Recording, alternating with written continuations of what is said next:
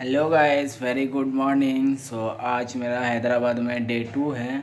सो so, कल मेरा जितना सब टेस्ट था सब हो गया है। रात को कुछ रिपोर्ट आ गया। रिपोर्ट नॉर्मली आया और आज सुबह को कुछ रिपोर्ट लेने जाना है। सो so, आज आज डॉक्टर के साथ अपॉइंटमेंट होकर उसके बाद मतलब मेडिसिन वगैरह हमको देगा कि क्या क्या क्या मेडिसिन चलेगा मेरा।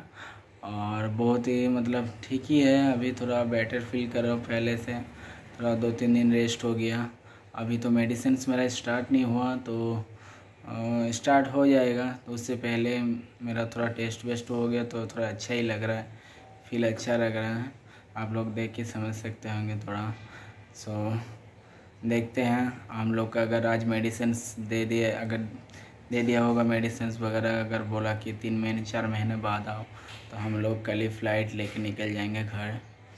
तो ठीक है यही बस अपडेट देना था आप लोगों को।